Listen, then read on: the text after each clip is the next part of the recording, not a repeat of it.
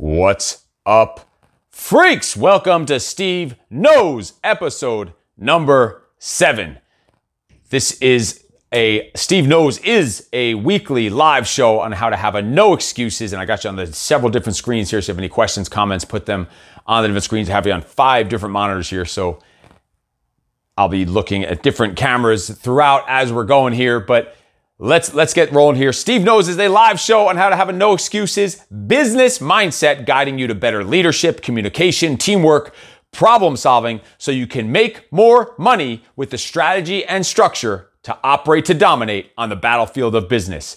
This is a show for business owners, executive managers, and team leaders, as well as their teams that might need some help or even struggling with their daily development, teaching, training of your team where we're going to give, we're going to really guide them on how to become even better leaders, communicators, problem solvers, so that they can be prepared for the battlefield of business and begin treating the business as if it's their own, allowing you to focus on the growth and scale of your company. That's what this is about. Here today on episode number seven, we're going to be talking about onboarding. And I know a lot of these different topics we might talk about on, on Steve Knows here aren't the, the, the fun, cool, sexy, exciting things, but this is the shit that if you combine this with all the other live shows that we do, like Steve Says, which is about personal development and mindset, Steve Does, which is health and fitness and nutrition, you combine those with this business stuff, you'll have, you'll be operating to dominate in your mind, your body, and your business. And then we add in the show I do with the kids and should I, the show I do with the Russian. Now we're talking about adding in your entire family into the mix you become an unstoppable fucking force. That's what this is about. And today we're talking about onboarding. Now, you might have found the right person to, to hire for a specific position, but now what? Now what? And, and how detailed is your onboarding process? And today we're going to help you create just thinking about how to create a step by step process, giving you a real way to onboard your team because the problem is we get we hire someone, we give them a manual, and we just throw them out and, and they go on their way. And then we wonder a week later why they're failing, they're not performing, you're not getting the results you want to get. And, and I'll tell you what, I'm gonna, we're going to talk about how we did it back several years ago, onboarding new members in, in our gym, in our fitness training center. This onboarding process, in some ways, in some capacity, sometimes it would take months of internship, which is technically part of the onboarding process if you think about it. Now, if we had someone we were going to go put out there with our loyal paying customers, some of them that were there for years, some of them that are new that we're spending, you know, tens of thousands of dollars of marketing dollars on to bring them in, you got to make sure that you are servicing them with people who are going to give them the top quality service and product that, that only you, your place can deliver. Now, how are you onboarding? I know we always talk about hire slow, fire fast. Really, part of the hiring process is all right, the person's hired, but to me, they're technically not hired. There should be that probationary period where you're going through onboarding and you're seeing, all right, how well of an actual culture fit is this person? Like, that's the way you need to think about it. Because that's what onboarding is, is really getting into the deep culture. And you can see on some of these cameras, you can see behind me these different core values. We have a, a peak promise, a peak pledge, core values. Those are the type of things that we would dig into in the onboarding process. Going over those core values with lessons and, and strategies and tactics and examples of how to demonstrate those qualities of the core values. And also examples of how people have fucked up and abused those core values in the past and those promises and those pledges and what we're actually providing for people on a regular basis. This is what we're talking about. We're talking about onboarding. And just like anything else, you need to have a specific protocol. And I see tons of I see messages on these different different pages here. So just want to make sure if you have any questions, comments, put them there down below. Talk about your onboarding, talk about your business. Do, do you have a standard operating procedure for your onboarding process? Like, do you have a system in place or is it just, all right, we, we give them a day of training and then we throw them out there to the wolves? Because that's what you're, you're literally doing. If you don't have an onboarding process, you are literally throwing them out out, out to the wolves. That's what you're doing. That's what you're doing. And you need to have a onboarding process for basic for all employees. You need to have an onboarding process for each different department that you have. And there needs to be there needs to be checklists. There needs to be a, step-by-step series of events that they go through to be onboarded. And we are talking about specifics and details of, of what you're going to go through step by step. And like anything else, you need to have an SOP. You need to have standard operating procedures. Like let's let's start off with we had let's just start, tell you tell you about what it was like with a trainer. If someone wanted to teach a class, a boot camp class in our gym, what they would have to do. So, first off, you need to have a step-by-step process. They need they need to be there and demonstrating and learning and studying and, and have a mentor who is going to be their point of contact. First off, they need a point of contact on the onboarding process. Who's going to be walking them through this? Who's going to be training with them? Who are they reporting to every day? This all needs to be listed out in your SOPs. You should have an SOP, a standard operating procedure for every single task, every single position in the company, in the business. And then every single task. I'm talking about an SOP of literally a written checklist, step by step, in detail, that a fucking idiot like myself can walk in there and be able to perform those duties just by going through the checklist. And then along with that checklist, just checking the messages here as we're going, along with those checklists should have all the different all the different screenshots if needed to go along with those those those tasks. Maybe screencasts, videos of what needs to get done and showing how to do it, demonstrating how to do it, actually going through the steps, going through the process of exactly what gets done. And I'm just checking the messages here and scrolling through here on the Instagrams because I see some some messages coming here. Just checking see if there's anything, any questions. If you have any questions, put them there down there in the comments.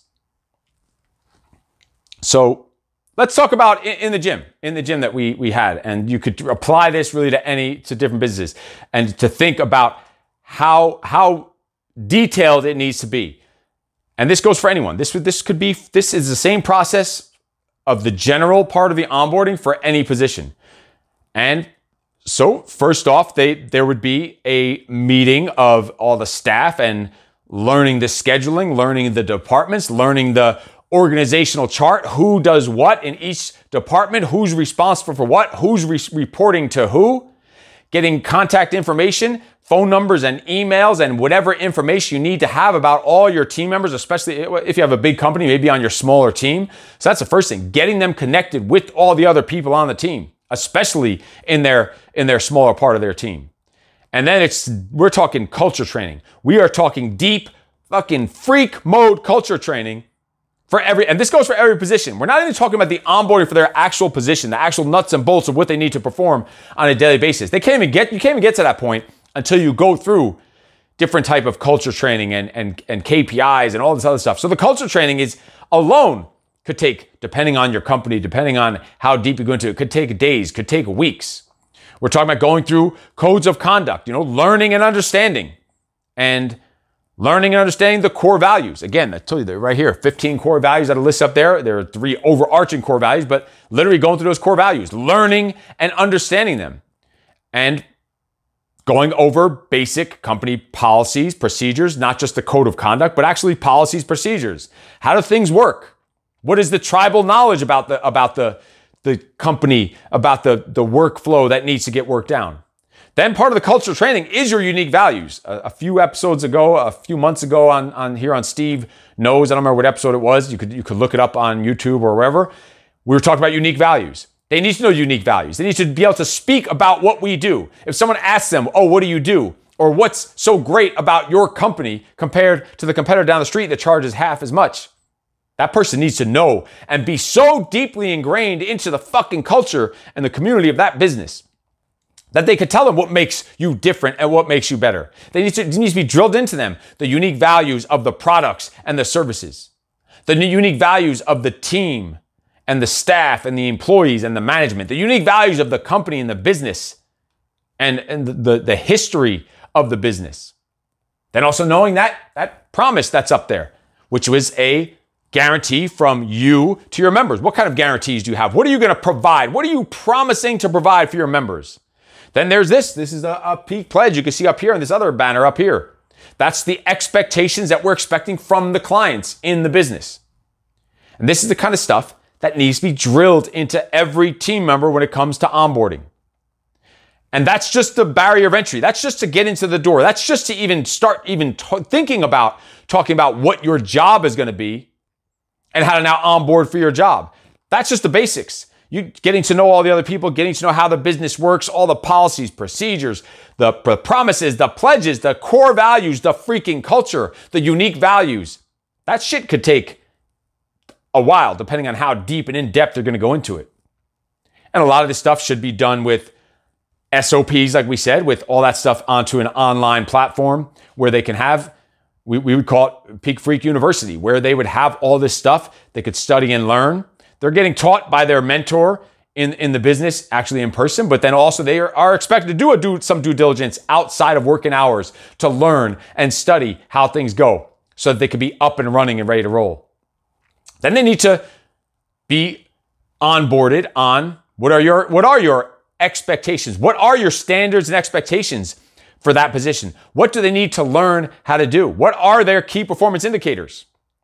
They need to learn them and understand them. What are their key performance indicators on getting referrals, on leads, on getting reviews, on supplement sales, on clothing sales, on getting testimonials, on checking in on social media, social media behavior, social media check ins, social media posting? frequency of posting about the business, about what you're doing. Like, what are your standards? This, listen, it's your business. You can decide what these parameters are. It's up for you to decide.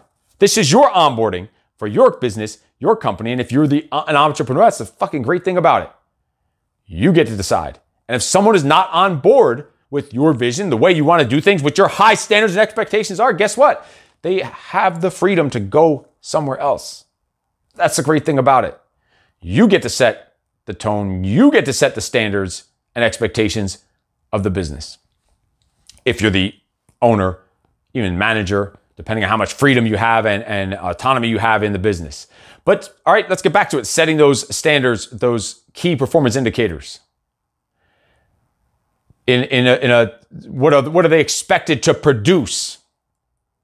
What are they expected their ratings on uh, member surveys and things like that, client surveys? How does feedback go up and down the chain of command? What is feedback based off of? And it should be based off of those core values. And what are the different protocols and expectations for each individual in each type of, of, of department and task? They need to learn all right, how to deal with different clients, how to deal with clients on the phone, how to deal with clients in person, how to deal with clients out in society. How do you talk about the business? How do you you have a, a, if you have a physical location, what is the protocol on, on someone walking in? You need to learn and understand what are what is the protocol for someone walking into your business. And then all these things also have a practical application training and coaching and onboarding, practical application and role playing where you need to show me that you can do it. I'm going to show you how to do it I'm going to break down what I did step by step. I'm going to show you the checklist of how to do it. I'm going to give you screenshots and videos of demonstrations of how to do it. You're going to study it and you will be tested on it. You'll have to do some role playing and show you can do it. Both in practical application, doing it, also maybe even writing it out and written, depending on what we're talking about here. You need to have onboarding and protocols on opening the business, closing the business, keeping the place depending on it in the gym, like cleaning, cleaning and opening, closing the gym, closing the business, whatever it is, every single part of the business, you have to be onboarded because then later on, a month down the road, when, when this new individual that you thought was this fucking rock star is just dropping the ball and not getting shit done, you can't sit and bitch and complain if it's not something you didn't onboard them the right way. It is your fault as the leader. And we, we hear about all the time on the fucking internet, extreme ownership and take accountability and all this other stuff. But no one fucking does it. All people do is point the finger and blame other people. If you consider yourself a leader, if you consider yourself a manager, uh, an owner, an entrepreneur, and there you should consider yourself a leader no matter where you are in the chain of command. There is leadership up and down the chain of command. You should take responsibility for this shit. If someone's dropping the ball, it's because you didn't onboard them, coach them, teach them, guide them, mentor them, and lead them the right freaking way. Onboarding then, and that, that was, that's all the, the basics right there. We didn't even get into the specifics of their actual job. Then, if they were, eh, let's say, a personal trainer, they needed to go through a full personal trainer certification, a full personal trainer kind of internship just to teach a class. And that goes for a one on one, separate personal trainer certification, boot camp class certification, and boxing classes. So, whatever their job, they have to now get pretty much in house certified in that stuff. In nutrition, they would have to get certified. On the supplementation, on sales, on clothing, on all this stuff, on warm ups, on what our protocol is for actually delivering our product or service. And they have to pass tests on all this stuff, both practical application, written, demonstration, on all this stuff, on basic equipment, where things are located. Because imagine you're going to service a client on a particular piece of equipment and you don't know how to fucking operate it. You don't know how to set the selectors or the switches or anything like that. You need to have a deep onboarding process.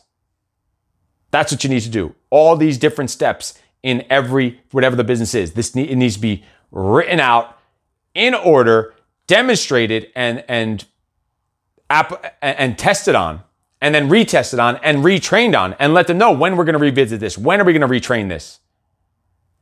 We're talking deep levels of onboarding. And if you're not having onboarding to this level and to this depth, You'll be then, then you'll be wondering why does this person suck? Why is this person not getting referrals? Why is this person not performing? Why are they not getting results for our clients? Why are the clients pissed off? Why are we getting all these tickets for problems with the service, problems with the product, whatever it is in whatever industry you're in? Why are we not getting any referrals? Why are we not getting any reviews?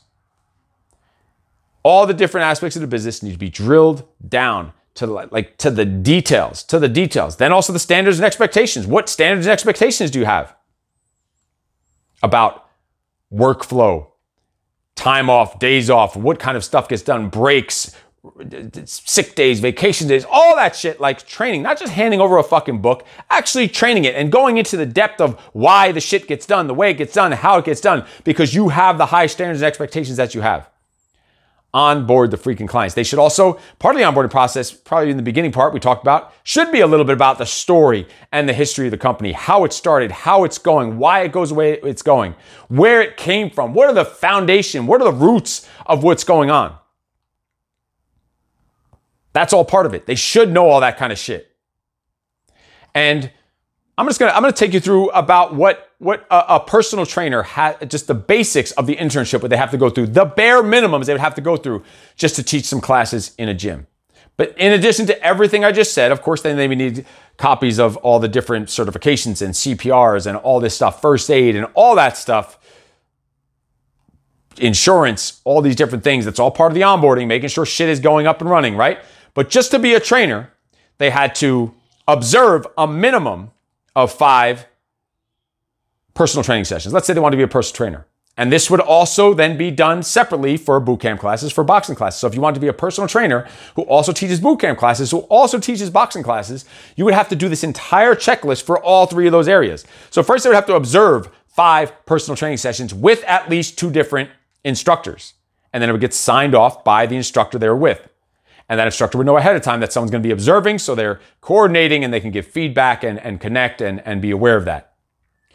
Then there had to be they had to be trained by another trainer for five different training sessions. They can experience it from the other side with at least two different trainers.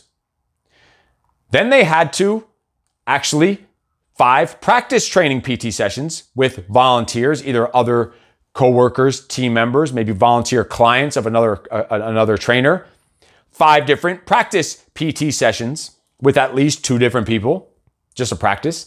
Then they had to design five different weekly programs, 12 week programs for three different types of clients. Then they would have to co train, as in kind of shadowing and observing another trainer training someone for five different sessions for at least two different trainers. Then they had to train a session with a shadow and a co trainer with them for at least five different sessions just to be able to then coach by themselves for one session. And all of those lists would be have to get done also again for boot camp classes, for boxing classes. That is just part of the in-house certification program just to be able to get on the floor in front of paying clients. Because listen, you practice on practice, you execute on fucking money. You don't want people practicing on your hard earned leads. And the way that I broke that down, obviously that's not going to be fit for every type of industry, but you just see the detail that it needs to have. The onboarding, the, the thought process that needs to go into it, the structure that needs to go into someone onboarding. Because what you do usually is you need you want someone working there, you don't want to do the shit yourself, so you rush through the hiring process. You don't do the due diligence. We went through the hiring process a couple weeks ago. And then you rush through the onboarding process because you want to just shove them out there. So you, you, you think that you, that you, don't have to do it yourself and you don't want to spend time on it takes too much time and money to train them and coach them and onboard them. You know what? It takes 10 more fucking 10, 10 times more money to, to fire them, pay their unemployment when they go get their fucking unemployment, whatever else, and to then have to go recruit and search and train for another person every two, three months. That is a shitload more expensive. So if you think you don't have time to onboard someone, to train someone, to bring someone up to speed, especially if you have high standards and expectations, you're looking at it from the wrong way. You need to come from a different perspective. So take the time, create a strategy and tactics and specific details of how to onboard the people in your business. And if you need help with this to, to make it specified to your business alone, let me know. We could talk about it. We could help you set something up for you and your team and your business in detail. And we will talk about it. Also, going on right now is the Freak Mode 40. That's the 40 day and night daily discipline habit challenge. Check the links down below in the comments, and you can see how to get set up for those if you need help with your daily disciplines. It's habit stacking at its finest to help you operate, to dominate in your mind, your body, and your business. And that's what we're talking about here each week on Steve Knows is your business and money making and needle moving activities, income making and income generating, impact making activities like onboarding. Take your time to onboard your team because listen, you're not going to get anywhere by yourself. You need a fucking team. Even if it's, it's if it's an actual in-person worker, employee, team member, or even if it's online, if it's virtual, it's a VA. It doesn't matter. You need to onboard them. Take the time. Stop rushing. Stop being lazy. Stop skipping steps in the process. Create a, an SOP for your onboarding and fucking stick to it. Let me know if you need any help with it and I can help you out and walk you through it. We just actually work on this type of stuff with our LTD, our leadership and team development training, or also one on one coaching, operate to dominate. So let me know if you need any help with this stuff. Also, check out the Freak Mode 40 Daily Discipline Habit Challenge 40 days and 40 nights of compounding habit stacking to take your life to the next level in your mind, your body, and your business. This has been Steve Knows episode number seven. I will talk to you, see you next time. And in case no one told you yet today, you are fucking awesome. No excuses.